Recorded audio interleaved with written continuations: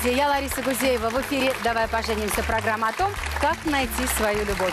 Сегодня у нас невеста и три жениха. Американский ресторатор Олег, русский журналист Тимофей и немецкий бизнесмен Герхард. А невеста у нас Марина. Давайте знакомиться. Я пришла за самым лучшим на свете мужем. И в этом мне помогут мои подруги Юлия и Анастасия.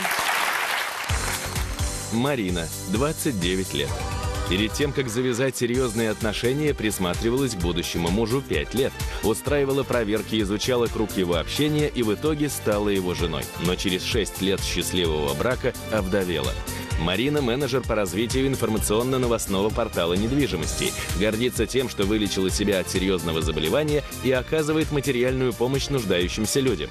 Мечтает открыть косметологическую клинику. Предупреждает, что страдает синдромом отличницы. Марина не прощает мужчинам малодушие и не признает принадлежности к творческим профессиям. Готова создать пару с серьезным мужчиной с математическим складом ума, который состоялся в профессии и морально созрел для того, чтобы заняться благотворительностью. Я вас помню, вы были у нас. Да. Симпатичная, очень миленькая. А, эффектная женщина? Очень вели- великолепная просто. Не знаю, по-моему, просто накрашенная Барби. В прошлый раз, когда вы были, у меня было ощущение, что вы проживаете не свою жизнь. Вот как будто чужую судьбу примерили, а она не по размеру оказалась, поэтому все мимо. Давайте напомним вот про вашего мужа историю. А, с моим супругом мы познакомились, а, будучи в университете. Мы а, обучались, получали профессию экономистов. Там мы познакомились. Естественно, произошла вспышка, любовь. Через пять лет общения длительного, а, я считаю, это долго, а, мы поженились. Какая вспышка, у него была другая девушка. Была другая девушка до И этого. он вам сказал об этом, когда вы пришли какими-то неправдами брать у него интервью, строили ему глазками, он сказал, Марина, вариантов нет, потому что у меня девушка, и я не Да, и я делу». отпустила его, потому что... А чтобы вы а, даже если бы вы легли трупом а, перед ним, он бы перешагнул, потому что у него была другая девушка. Все правильно, и я это поняла, я это оценила, отпустила человека.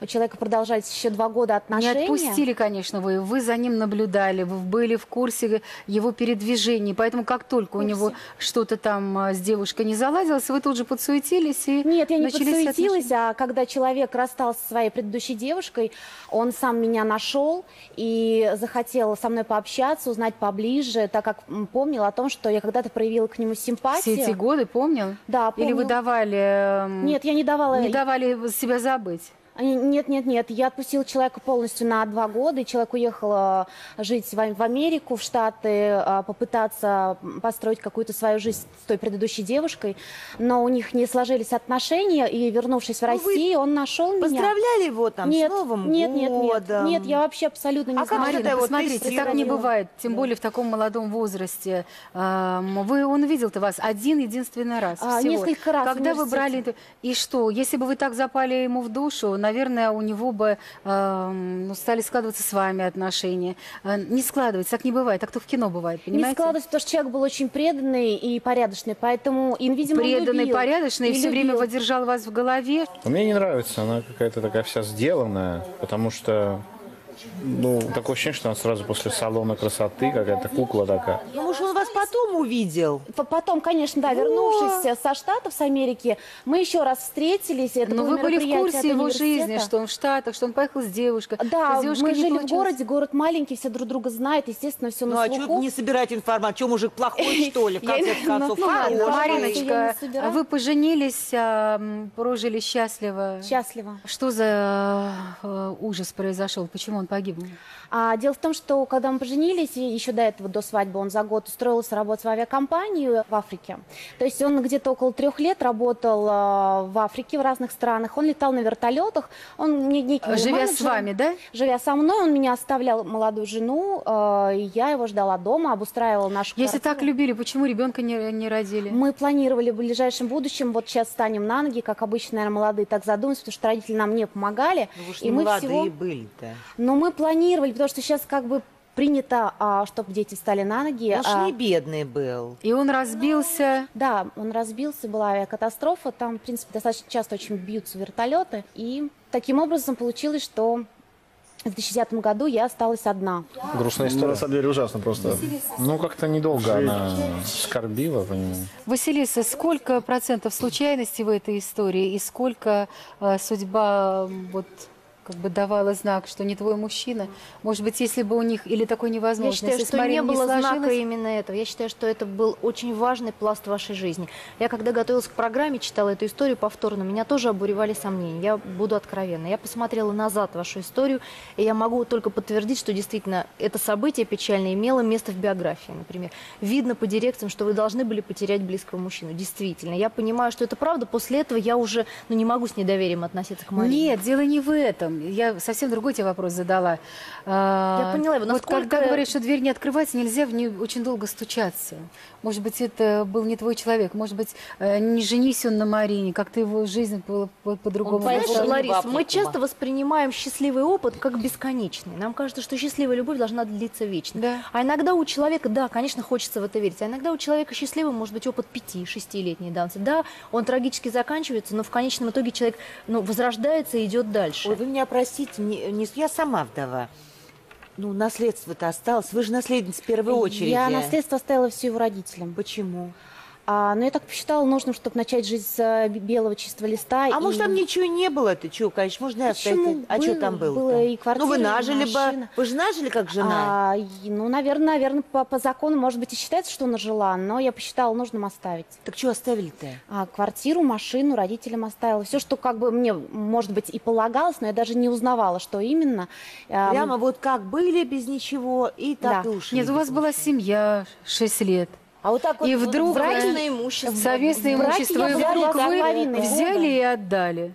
Почему? Зачем? Может, такой недорогой Вы был? знаете, а, я два года не хотела вообще жить, и я об этом просто никак не думала. А мне позвонили через, а, наверное, месяц в семь через год нотариус а, и предложил как-то оформить бумаги. Я посчитала, нужно, что мне ничего не нужно. Она не меркантильная, ну, по крайней мере, так себя позиционирует, это важно. Я думаю, что если бы она себя позиционировала как меркантильную, шансы были бы минимальные. Вам почти 30 лет, да.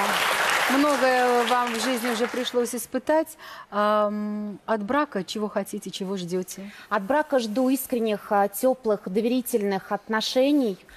А, Жду самого лучшего мужчину на свете, и в это именно понятие вкладываю Самый лучший лучшего. мужчина на свете тот, которого мы любим. Тот, которого мы любим, Кого вы можете полюбить? Я могу полюбить человека, который а, полюбит а, меня всем сердцем и будет иметь огромное желание создать семью искренне. Так, конечно же, я. Теплая? Самый лучший. А бедного полюбим? А бедного...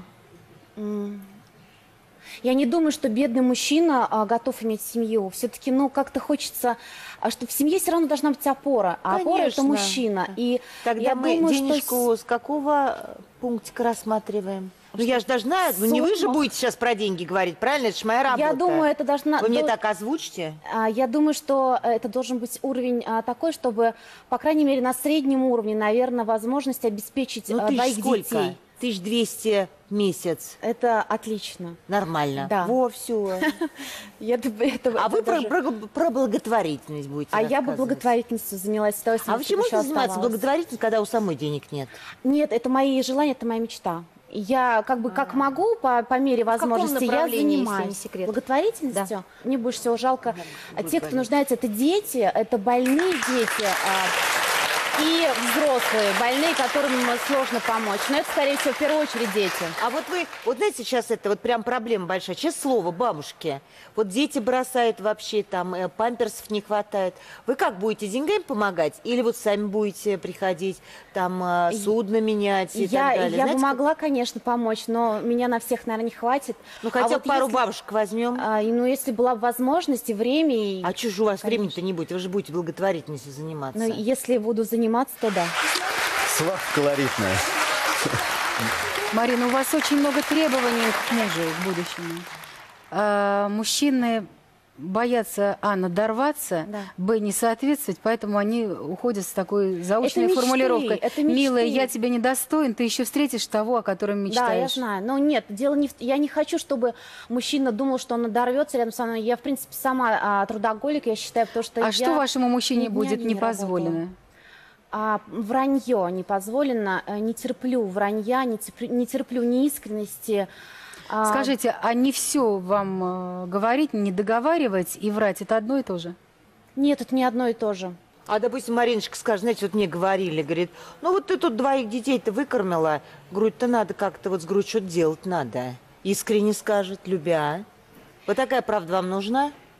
А, Я думаю, человек должен быть очень тактичный. ам, И я думаю, в принципе, я хочу... Или вам нужно брошюрку положить? Я хочу, чтобы он был воспитанный, интеллигентный и тактичный. Я просто смотрю на ее фотографии и сравниваю. Мне кажется, она сделала пластику. Вот э, немножко себе сузила, наверное, скулы или что-то сделала, может быть, с носом, потому что там на фотках она была совсем другой. Не постесняешься спросить? Я, мне не проблема спросить вообще. Нет, но если он хочет, чтобы вы поменяли, вы поменяете? Вот вам как вот это? Если мы Она ж придем к за умного такому... хочет замуж, Рос. А умный, значит, как ушки спаниели, я А, поняла. Нет, а умный, он же другими категориями живет, если любит женщину. Это если она за, того, который перед зеркалом, ну вот который у тебя был последний раз, для того важны имплантанты. А если человек э, любит, и у него какие-то другие идеи, другие стремления, другая реальность в виде да. детей, которых нужно Ценности поднимать. другие просто. Конечно. Я думаю, что все-таки это тип женщины а, деловой. Это? Все-таки, да. Никакой тут не, не, не, не вообще не, да, не деловой ни разу. Почему? Такая она домашняя. Мне интересен... а, на, на самом деле, мужчина с большой, ту- э, с большой буквы этого слова. И Буквы человек, «М», как в туалете, да, большой? мужчина, а, кото- которого можно на самом деле назвать мужчиной, которых сейчас а мало. кто для вас идеал? Вот, э, Идеал? Ну, на примере ныне живущих, допустим. Ну, известных. Кто? Вот Владимир Познер, э, Ван Познер. Ургант. Вот э, за каким мужчиной вы бы пошли, вот просто не оглядываясь? Если честно, мне нравится Олег Меньшиков, но я его знаю только как актера, о его талантах, о его игре. А, И он живет далеко и редко бывает Спасибо. в России. Спасибо, девчонки. Давайте уже как-то будем направлять Марину и ждать Не, ну я, нет, все, вообще все понятно. Я вот самые такие вопросы каверзные по поводу денег, там, квартирки. И, ну, не вам же это об этом говорить, я буду об этом говорить. Спасибо. Ну, мне сложно вам что-либо посоветовать, потому что вы человек четвертого дома. Несколько планет в соединении в Козероге в четвертом доме. Вы на самом деле человек, думающий глубоко и пытающийся думать глубоко. Вы в любой ситуации будете пытаться рассмотреть двойное дно, и, может быть, сегодня в наших героях вам что-то удастся.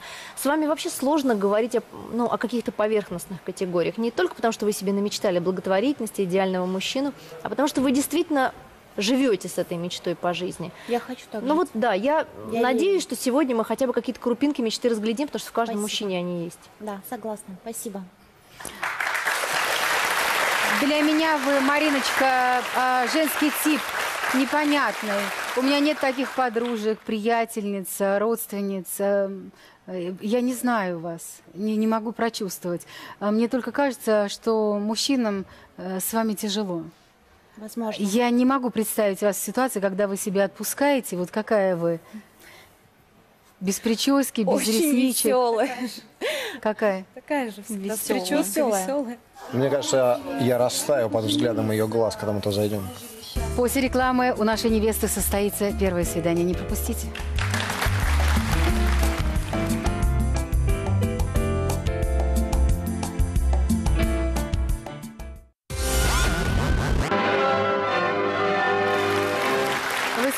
«Давай поженимся». У нас в студии Марина. Идите, встречайте первого жениха.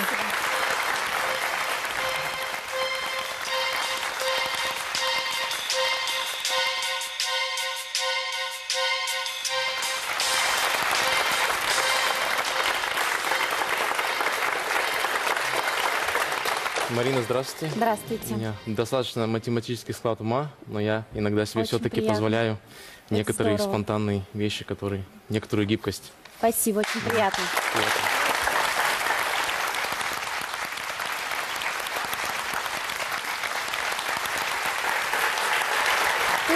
Перья. Это вам по букету. Возьмите. Ой, спасибо. А, что за акцент, Олег? Откуда вы? Я по национальности русский, просто так случилось в жизни, что русский не мой родной язык. А в очень маленьком возрасте меня увезли из России в другую страну, где я вырос. Потом я переехал еще в одну страну, и там был еще один второй родной язык. А А, потом... Америка? Да, да. Давайте на нас посмотрим, узнаем вас лучше. Олег, 33 года. Генеральный директор интернациональной сети ресторанов быстрого питания. Специалист по Латинской Америке. Гордится тем, что состоит в тайном студенческом братстве. Мечтает завести обезьяну экзотической породы и побывать в местах, где не ступала нога человека. Супруга Олега не выдержала его частых командировок и подала на развод. Надеется, что Марина отнесется с пониманием к его профессиональной деятельности. 6 лет. Почти. Успели за это время жениться, развестись? Да. Ребенок родился? Да. На русской женились? Да. Ну вот смотрите, если у Марины история такая длинная и запутанная, а причем выйти замуж, там столько было всего, то вы буквально второй день уже, да, с девушкой своей познакомишься с Да, я, я считаю, или сразу получается что-то, или если очень долго развивающиеся варианты, ну, из моего жизненного опыта, как правило, потом что-то не складывается. Если химия есть и... Если химия есть, сразу надо в кровать э, прыгать? Нет, а, это страсть. Сколько вы прожили, проколотились в этих страстях? А, года три. Ну, видишь, уже, уже успел и жениться, и развестись. и- Динамично. А какая была а, причина? Причина была... этого? Мы во всем, в принципе, сходились в нашем уровне интеллекта и в наших идеях. Просто а, в моем случае у меня жена остановилась на, на какой-то точке и не хотела дальше развиваться. Ну, она достигла э, Ну, ей было достаточно, послушайте, ей было достаточно этого. Она занималась ребенком, семьей. Почему? Куда вы все хотите развиваться? Куда? Ей Может хватало. быть, не развиваться, но просто я, я не мог, я не могу дальше развиваться, если со мной человек, который меня на это не, не подталкивает. я могли должен... Ну хорошо, ну в чем это выражалось? Вы э, решили поехать куда-то на заработки, а она осталась с ребенком. Но уже ничем не удивишь. Уже, ну, А как-то уже, уже нет э, восхищения. была? А, а чем раньше ты удивляла? Ну, когда мы как-то вместе шли к чему-то, она А просто чему остановилась шли-то? раньше, чем, чем я был готов остановиться. Давайте я хочу конкретно. большего. Да, это непонятно. А Какого развития вы для нее хотели? Развитие даже элементарно финансово, ну, что можно дальше Понятно. идти. Она должна была еще достигать. больше зарабатывать, что ли, да? Нет, а, я хотел для себя больше там, Так допустим, зарабатывали бы.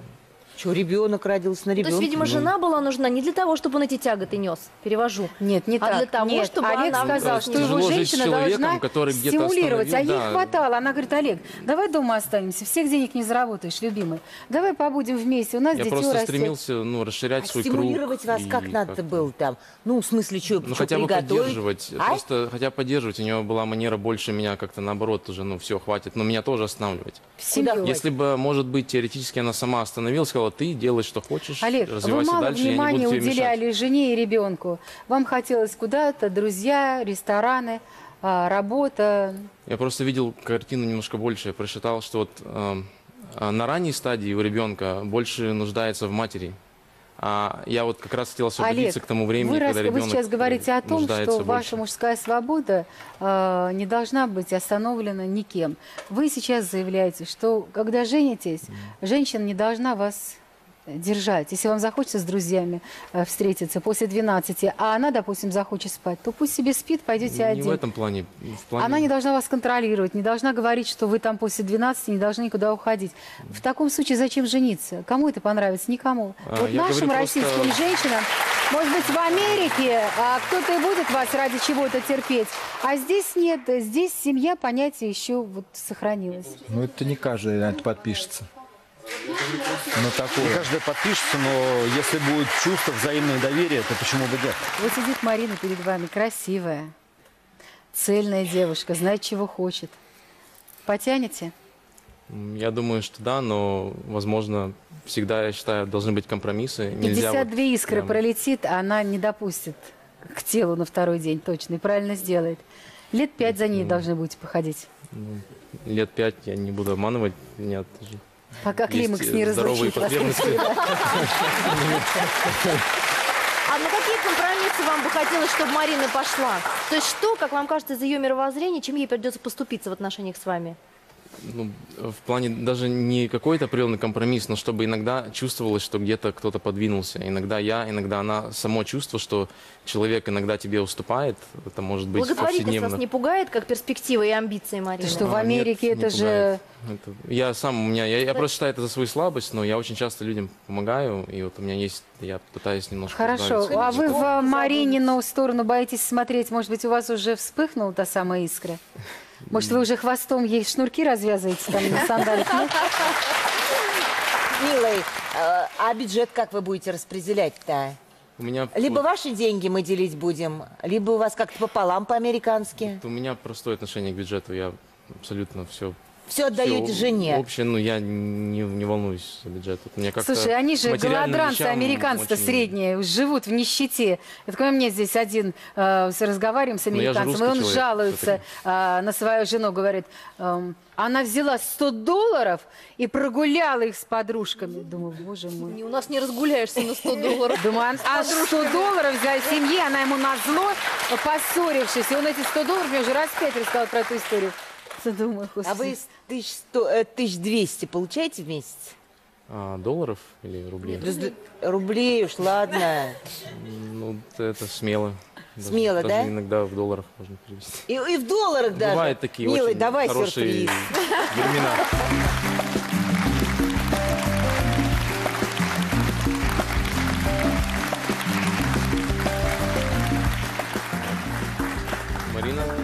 Вами проведем мини-оракул. А, Здесь вопросы в этих карточках. Некоторые из них могут быть провокационные. Вижу, вы девушка серьезная, но чтобы расслабить какую-то атмосферу, мы будем вдыхать шарики, которые будут, по крайней мере, менять. Вдыхать? Да, вдыхать шарики, которые изменят наш голос как-то, чтобы сбавить. Мне тоже вдыхать? Ну, при ответе можно. Серьезно? Да. Но это изменит голос, как-то, может быть, поможет А это не те веселящие шарики, Нет, нет. которые сейчас везде продаются. Нет, это не те шарики. Не те, а вы те знаете вот про вредные шарики. У меня легкие А шарики продают Нет, хоть, нет. веселящий газ. Я- я- Я вам покажу. Я, я первый, чтобы... Да, да. Если, если я здесь не упаду... Покажи, да, первый. Так, а, Что нужно делать? вопросы разделены на категории. Э, Розовый – это секс, любовь. э, Желтый – это семья, это финансы и меркантильность. Вот вы можете выбирать некоторых тем. если- Это я первый Да, выбираю, вы выбираете. Вопрос я Ну, его Как всегда читаю. за любовь. А, ну это больше секс. А, это больше секс? Жалко. Ну ладно. Ну, с- а при каких самых необыкновенных я должен вдохнуть сначала?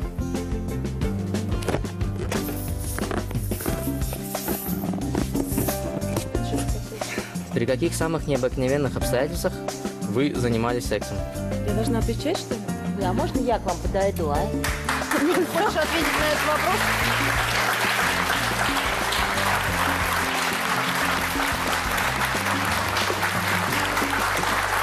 Слышь, брат, а давай финансы меня интересует, а? Где у нас финансы? Вот голубенькие Синие, карточки. да? Но это проверка невесты больше, чем.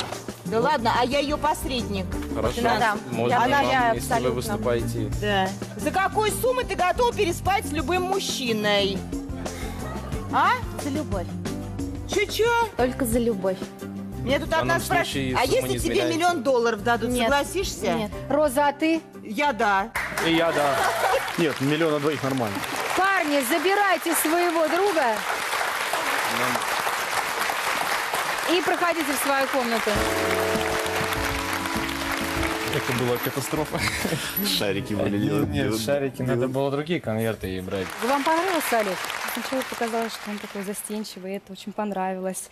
Он сел, начал говорить, что он серьезный парень. Но когда дело дошло до его отношений, собственно, с бывшей женой, Скажите, это А. нормально? Нет причины развода? я не знаю, наверное, где есть чтобы- ребенок. А, Жена куда-то там его не догоняла где-то, понимаешь, в каком-то развитии. Это неправда, что в этом была причина развода. Вам понравился? Я не поняла а, конкретно ни, ни один ответ на ваш поставленный вопрос.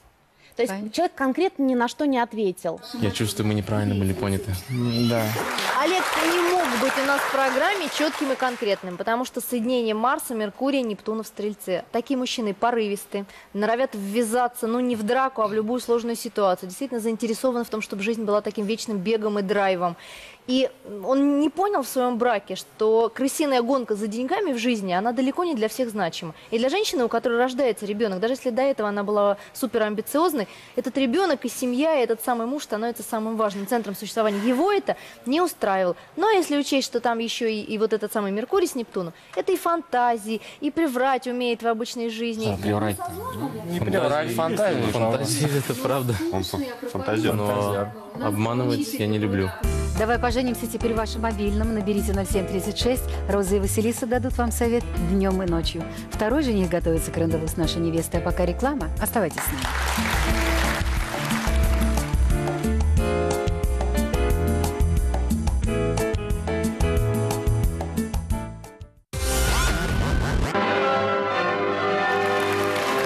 В эфире «Давай поженимся» у нас в студии Марина. Идите знакомьтесь со вторым женихом. Удачи!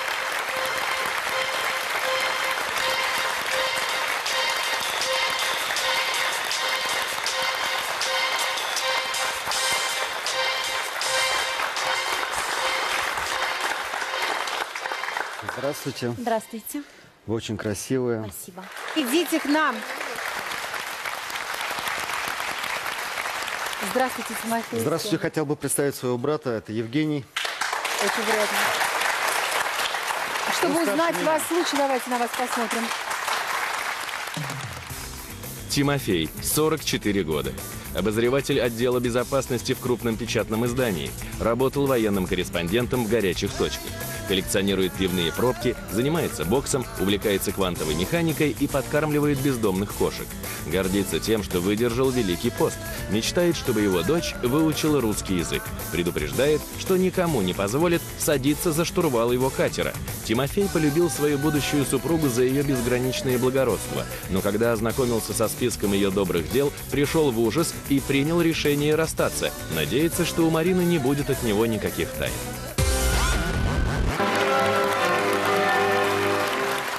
То есть э, один из пунктов э, в списке добрых дел был э, замаскирован под скелет в шкафу. Что там произошло-то? О чем вы вдруг узнали и удивились очень? Ну, это было, была последняя капля в наших отношениях, на самом деле. Что было-то? Так получилось, что она установила молодого парня, темнокожего. Э, Не сказав мне об этом, я узнал об этом примерно через месяц после усыновления. Я был бы в шоке. Я тоже. Я сейчас в шоке. Будучи в браке? Мы не, не были женаты. Но у нас был совместный ребенок э, уже к тому времени. А почему не Дочь. женились? Потому что если бы были в браке, то э, ваше согласие или несогласие было бы обязательно. Было бы обязательно, да, но так получилось, что мы не были в браке. Почему? Не вы не хотели? Нет, мы хотели, но вот э, такие сложились жизненные обстоятельства, что... Ну и чем вам э, чернокожий ребенок помешал вы, который всех собачек, кошечек привечаете и Мне помогаете? этим? чернокожий мальчик совершенно не помешал. А Мне, э, во-первых, напрягло то, что она не поставила меня в известность. Это уже Может было... быть, боялась?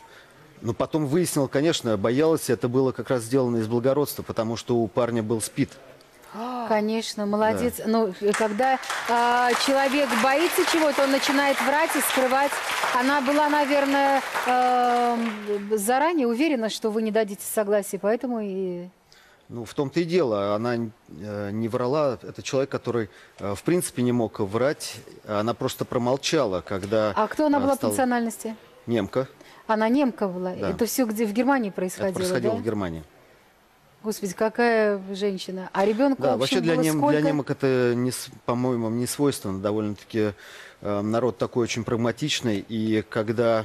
Замаливала грехи, и молодец. Ну, при чем здесь замаливать грехи? Просто сердце такое было от, э, За от кого-то, природы. за кого-то, знаем даже за А это кого. не могла быть проверочная ситуация для вас? Прошу прощения. То есть не могла она вас ввести в заблуждение, чтобы проверить Нет, вашу искренность? нет, нет, нет, это совершенно было исключено. Потом я узнал э, гораздо позже о том, что у него спит, о том, что э, он потом умер. Когда он умер, тогда я уже узнал об этом. Тимофей, вот скажите, чем вам эта история могла навредить, помешать в отношениях? Тем более вы о ней даже не догадывались. Что, Но деньги выносила из семьи и Нет, нет, тратила на совершенно мальчика? нет, а что? совершенно нет. Представляете, Это какой именно, благородный э, души человек? Да, конечно, естественно. Ну, а Но что? я тогда об этом не знал, о том, что это было именно благородство. Я думал, что она сделала это, не знаю, по каким причинам. И когда я пытался это узнать уже потом, Скажите, она а, не бы, говорила об этом. а если бы она, пришла молчала. к вам э, и сказала бы, Тимофей, я хочу усыновить темнокожего мальчика, больного СПИДом, вы бы что ответили ей? Трудно сказать, не знаю. Она знала ответ, что вы скажете никогда. Но ее сердце не могло остаться э, каменным по отношению к этому ребенку. Возможно. Но он И по каким-то своим причинам, а я ей не нападаю, по каким-то своим причинам она его усыновила. А, Возможно. а где этот мальчик жил? Не с вами же, раз вы не знали. А, Ему немецкое государство оплачивало к- э, квартиру, комнату. Он был ее учеником, она была учитель, э, не была, а есть учительница. И когда она узнала, что э, у него обнаружился СПИД, и по немецким законам он обязан был покинуть территорию Германии, уехать к себе на родину в э, Африку, она сделала вот этот благородный жест, она продлила ему жизнь она еще на год. Там был Разве в, в быстрее. Германии такие законы, что больн- инфицированных они э, отправляют? Ну, по крайней мере, она мне тогда сказала. Не знаю, не проверял. Что ты думаешь про Тимофея, Виталий? Матвей, серьезно, взрослый, взрослый дядька. Взрослый дядька, Взрослый дядька. реально. Ты, ты мужчина еще, а он дядька, понимаешь? Мужик. А как вы расстались? Она пыталась что-то объяснить? э, Она ну, я пыталась вам- повторяю, это была последняя капля. А за что вы ее полюбили? Вы же ее полюбили, раз у вас родился ребенок. Ну, естественно, конечно, это э, были довольно-таки глубокие чувства. Это была любовь. э, Ну вот определенные моменты складывались, они складывались как А в вот- копилку. А скажите, капля а вот, капле. Тимофей, а, пока у вас был вот этот конфетно-букетный, а, вот эти ее а, какие-то порывы благородные, они существовали же уже в ней, наверное? Да, она конечно, уже и меня это тогда очень, очень подкар- подкупало, видимо, за это я ее полюбил. И за это же потом и разлюбил? Нет, ну, видимо, наверное, я не- оказался недостойный ее а вы кто по национальности? Русский. А вас какими ветрами там в Германии-то занесло? Я получал второе высшее. А может быть, она была э, тем самым мостиком, который ваш статус как-то в Германии закрепил Нет, благодаря наоборот. этой женщине? Что наоборот? Я ее пытался привести много раз сюда, э, потому что я понимал, что в Германии жить не смогу. Я чувствовал там себя человеком третьего сорта. По дочке страдаете? Ну, мы с ней переписываемся и Вот у э, вас а, огромное желание научить ее русскому языку. А что вам мешало до этого эм, научить ее? И зачем вам Потому это? что мы не общались долгое время. Почему? Э, Керстин вышла замуж, и одним из условий нового папы было то, чтобы дочь никогда не знала, что она э, наполовину русская. Мне как-то грустно. Скажите, у вас э, это, Ну да, это не э, дом-то веселая есть история. вообще? Ну, я считаю, что для мужчин это не главное. С милым и рай в шалаше. Что вы, если милый аташе? А вы кто? Я журналист. А что другое бы не было чего-нибудь-то? А Ну, такое смотрите, Марина поинтереснее. хочет заниматься благотворительностью. Ну, советоваться будет, наверное. Прекрасное желание. Или помогать... Нет, я просто хочу выяснить, или можно будет э, помогать, допустим, белым детям, а черным нет. Потому что меня это до глубины души возмущает, это я не могу успокоиться. Потому что Она я считаю... бабушкам будет помогать. Это нет, я считаю это абсолютным э, вот каким-то жлобством нашим российским. Понимаете, это не только вас Дело-то было не в э, темнокожем или светлокожем э, ребенке. Дело было именно в том, что она это скрыла. Потому что она знала, что если она вам скажет, вы не разрешите. Потому что если вы были бы так великодушны, как она, не было Возможно. бы вопроса. Понимаете? Возможно. А вы хоть, хотя бы раз-то были женаты, что-то не пойму. Ну, вот так, со штампом. Да, конечно. Вот за этой женщиной. Нет, нет. нет. А за- Уже А, здесь, в первый брак. России, Э, Первый брак был. до того, как в Германию. А с ней что не сложилось? Ну, ну, во-первых, она умерла. Я не хотел бы. Понятно. А детей не осталось? Остался старший сын у меня Сколько здесь. ему? 19 лет. А сейчас с встречаетесь? Конечно, естественно. Ну вот. Я ж думал, совсем прям одинокий. Нет, ну, у меня есть дети. Я Тимофей, рад, а- что у меня есть дети, я с ними поддерживаю связь. Хорошо, покажите, пожалуйста, что вы приготовили.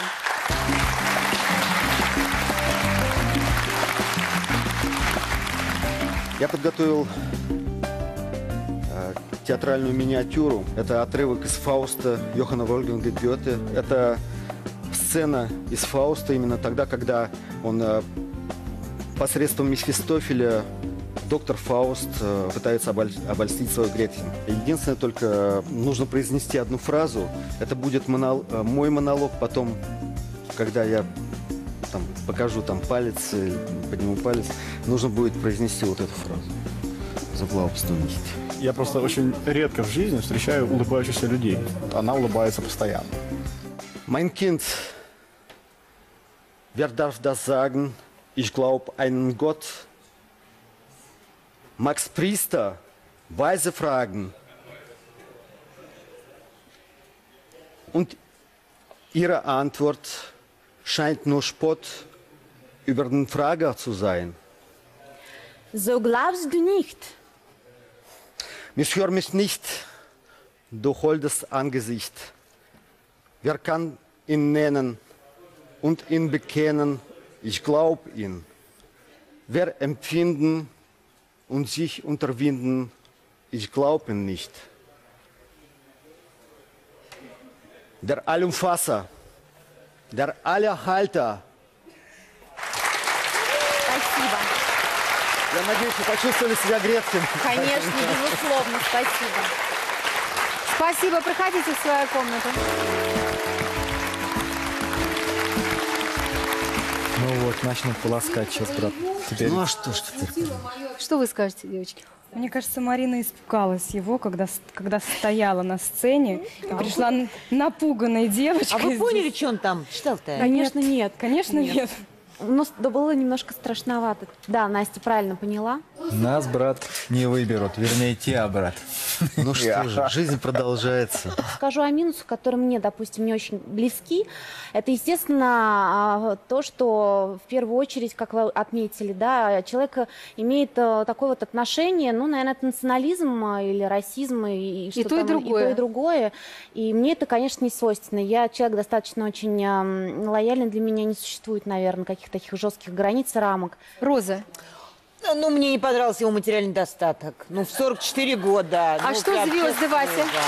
Звезды говорят, что это человек упрямый, а, очень долго хранящий в себе обиды. И обиды эти имеют свойство накапливаться. Я думаю, что история много глубже, много сложнее, чем мы увидели. Я бы не цеплялась к словам. И мне кажется, что как раз в этом не было ни капли национализма. Меня немножко напряг сюрприз. И даже не просто такой вот хлесткой немецкой речью, которая звучала. Для меня это было а, криком в прошлое. Почему он выбрал именно этот сюрприз для вас? То есть что было в нем именно адресовано вот вам, как героине, я не поняла. У меня было ощущение, что это той самой дочери, которая не знает русского, куда-то в Германию выкрикнутый вот такой вот, ну, я не знаю, отцовский Возможно, монолог. Возможно. Возможно. совсем скоро невесте предстоит третье свидание. После рекламы «Смотрина» продолжится. Оставайтесь с нами.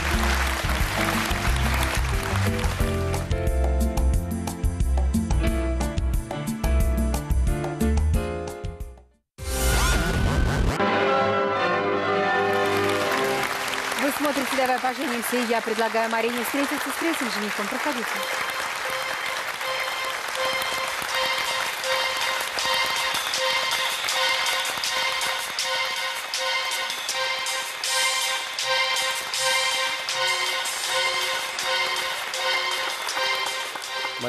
Не будет второго шанса оставить хорошее первое впечатление, поэтому буду стараться по максимуму.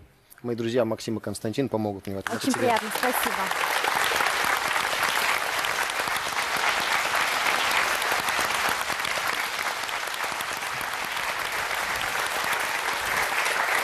Ой, спасибо Как приятно чувствовать себя таким букетом. Спасибо. Спасибо. Герхард, с кем вы? А, Я с моими очень близкими друзьями, это Максим и Константин. Очень приятно. Давайте нас посмотрим. Герхард, 33 года.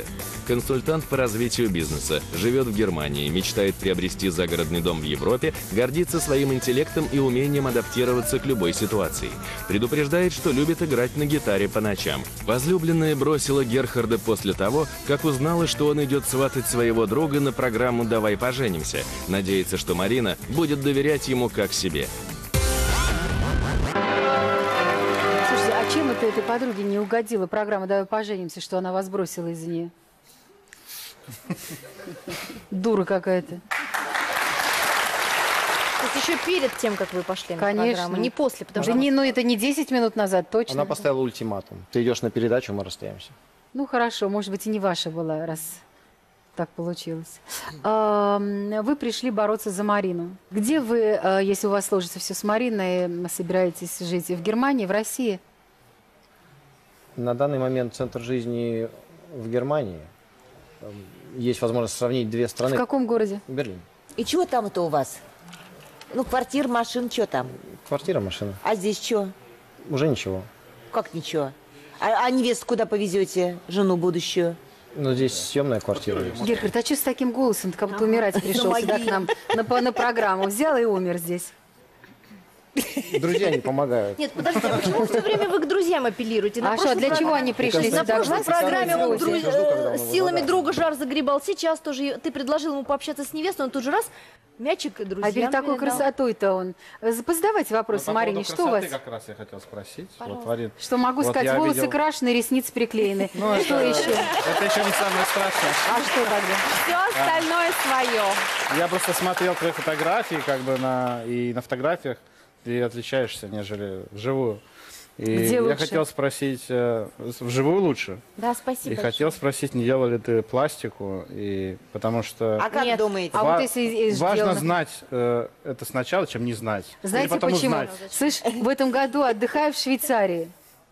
Думаю, почему такая красивая пара и женщина, и мужчина, почему такие некрасивые дети? Просто страшные, с какими-то носами, с какими-то губами. Просто некрасивые, непородистые дети. Потом доперла, они же богатые, все себе подстригли, носы накачали здесь, вот это все сделали. А детеж, оно родилось же не вот такое, какое есть, на маму похоже. Мне кажется, она очень не, не, Она не очень натуральная. какая-то ненатуральная. Она Там, по-моему, поставила себя как какой-то превозвышенный какой-то. Какую семью хотите? Опять же, в Германии сидим, э, пьем пиво, и мне мой друг, который живет в Берлине уже сто лет, говорит, ой, смотри, смотри, идут лет 40, говорит, прожили, за ручку держатся, сейчас, говорит, сядут, покушают, как они говорят, и каждый сам за себя будет платить. Так что, как вы это будете в этом смысле? По-нашему, по-российски или по-немецки? Я стал а, на ноги в Москве, и Москва это тот город, который меня сформировал. Поэтому я могу как бы жить за пределами России, но в душе я, конечно, остаюсь ну, вот, россиянином. И подход у меня как бы мужской, ну, остался вот такой, какой То есть вы какой должны есть. отвечать за женщину, за Конечно, детей, за конечно. семью. Хорошо. Столько лет живете в Германии. Ам, не нашлось ам, немецкой девушки или вам что-то в них не устраивает? Почему именно в России за русской? А, Честно говоря, ну, немецкие девушки, они, конечно, очень деликатные, у них хорошее европейское образование, но эм, по душевности э, с русскими девушками, со славянками никто не сравнится, и достаточно посмотреть на Марину, на ее лучезарную улыбку, чтобы забыть обо всех немках сразу. Не знаю, немки тоже очень бывают очень хорошие. Единственное, э, красота такая довольно холодная, как э, снежная королева такая, Айскёниген, немцы говорят. Что вы в себе исправили бы? Наверное, какую-то саморефлексию. Иногда не хватает вот той капли уверенности, которая меняет мир. а мне нравится закомплексованные, мне нравится рефлексирующие. Значит, вы живой. Понимаете? Это, это приятно. Тем более, если вы в этом признаетесь еще. Это здорово. Спасибо вам. Покажите сюрприз. Ну, я хочу сказать, что как бы ну, здесь не шоу, реальная жизнь. И ну, мне понравилась подружка. А, я не знаю, как зовут. Как? Настя, Анастасия. А, а Максим это да. не сводил глаз в домике с, с Мариной. А у вас есть молодой человек? Есть. Опаньки, вот так вот. Вот это да. Ну, Но мне это тоже жизнь. очень А. Марина понравилась вашему другу? Я даже онемел. А чем занимаетесь, Максим? Э, Моя основная деятельность – это продажи техники. А квартиры есть у вас? Все есть. И машины есть? А сколько? Э, 35. А жена-то были? Э, Неофициально, но в А течение, дети есть? в течение лет нет. Геральт, А это была неудача. хотел своего шницела друга познакомить с... А почему до 35 лет, извините, не были женаты? Мне просто вопрос. было Так, так сложилось. Я 10 лет прожил в гражданском браке, если, если хотите. Да, не Это- то, это чтобы хочу. А он просто вам я нравится, Марин, ваш типаж? А что, хорошенький такой. Вы спортом Нет, занимаетесь? конечно, хороший. И занимался, и Или занимаюсь. покушать любите? И покушать люблю. Вот это за... Вот это все, это... Вот это завис. Герхард, пролетаешь. У девушки есть молодой человек. Который сейчас выйдет Марина уже все услышала, да. Я не понял, а сейчас кто-то останется, что ли? Да. Давайте, парни, в свою комнату скоро узнаете, Максим, когда у вас день кто рождения? Марине понравился. Когда у вас день рождения? 0606. 0606, интересно. Я очень надеюсь, что ты произвел на меня впечатление. Ну, Дружище. поздравляю тебя. Вот так вот, русые коса вьются волоса. Ну что, как с парнем-то со своим? Со своим или с... Со своим. здесь? Готовы Может, отказаться? там уже Нет, не готова. молодец. Мне мальчик очень понравился, он очень интересный. А мне Герхард тоже был приятен. Да, Но все равно мы все из Советского Союза, он тоже наш. Мы друг друг для друга прозрачны. Нет? Я только хотела сказать, что мне очень понравилось, что Герхард правильно назвал свою болевую точку. Он сказал, что э, слишком много рефлексирует. И действительно, в гороскопе это описано э, квадратом Марса в рыбах к Нептуну. То есть он иногда мутный, цели ставит конкретные, но идет к ним неявными путями. И мне очень понравилось, когда человек знает свои болевые точки, знает свои уважения. слабости, это не просто достойно уважения, это значит, что он на верном пути к тому, Вася, у чтобы тебя их какая болевая точка? Надо подумать много. На самом деле программы не хватит. А у меня какая? Тоже много. Список был А самая, вот самая моя на поверхности. Но ты гиперчувствительный, выдаешь гиперреакцию на раздражение. То есть ты чувствительная, и реакция как бы превосходит вот э, удар, который наносит. Точно. А я вообще Верьте считаю- ей, люди! А я считаю, что вообще разврат один у вас, ну, у нас здесь происходит. Что это такое? Тот раз он, извините, к одной пришел, к другой ушел, с этими друзьями поменялся. А так по жизни раз возьмет и с женой поменяется. Извините, он какой-то чувствительный там или нерешительный? Господи, Нет. боже мой. Пришел к одной, умри, как говорится. неисповедимы. Думаю, у других ребят нет шансов. Шансы есть только у нас. Девчонки, кто понравился больше всех? Кто подходит Марине? Сложный вопрос. Мне понравился последний молодой человек. Герхард. Да. Слушай, ну она понравилась тебе? Она хорошая девушка, но не моя. И- то, есть, то есть, если она зайдет сюда, ты с ней не выйдешь. Я очень надеюсь, что она сюда зайдет, и с ней выйдешь ты. Давайте серьезно, кто? Герхард самоотвод дал. Наверное, его друг. А тебе она понравилась, Максим? Мне понравилось. Понравилось. Такая искренняя, лучезарная. Очень легкая, самое главное. Как вам, мужчина? Мужчины все достойные, все замечательные, и для себя я выбор уже свой сделала. Спасибо, Роза. Знаешь что, дорогая, мужчина никогда не приходит на одинокую женщину. Он на очередь всегда приходит. Поэтому хошь не хошь, а очередь стоять должна. Я считаю, что Олег очень даже хорошо под эту очередь подойдет. А, его еще можно даже повоспитывать, собственно говоря. Они, американцы, очень наивные, как говорится. Пусть стоит, пусть создает очередь. Я за Олега. Будем ждать, постучаться в нашу дверь или не. Будем ждать. Нет? Я считаю, что нужно присматриваться и прислушиваться к знакам со стороны судьбы. И приход сюда в студию Максима я считаю таким знаком. Потому что для вас лучший типаж мужчины – это воздушные. Вы легче их понимаете. Близнецы и водолеи – это те мужчины, с которыми вам легче общаться. А он оказался близнецом. Я у него тихонечко спросила, вот насколько с его стороны это может быть продолжительный интерес? Нужно рассматривать. Но если уж выбирать сегодня Максима точно, не упустите шанс. Поступайте, как сердце велит. Мы вас в любом случае поддержим. Выражайте симпатию нашим будущим героям. Отправляйте смс их номером по телефону 4 четверки. Юлия, 20 лет, номер 2064. Студентка. Из-за любви к еде научилась готовить. Увлекается походами по магазинам. Мечтает встретить высокого и красивого брюнета, который по-настоящему ее полюбит.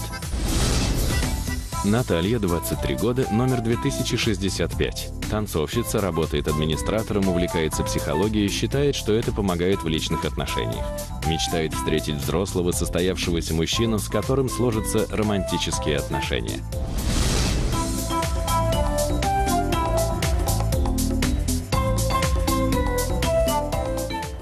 Ну что, не пошла ты никуда? Нет.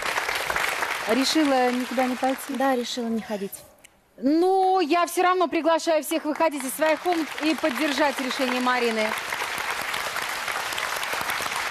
Сегодня у нас нет пары. Если вы тоже одиноки, заполняйте анкету на сайте Первого канала и становитесь участником программы. Если вам понравился кто-то из участников сегодняшней программы и вы хотите с ним познакомиться, отправляйте смс с именем героя на номер 4 четверки. А я, Лариса Гузеева, желаю, чтобы любимый человек обязательно сказал вам. Давай поженимся. Удачи.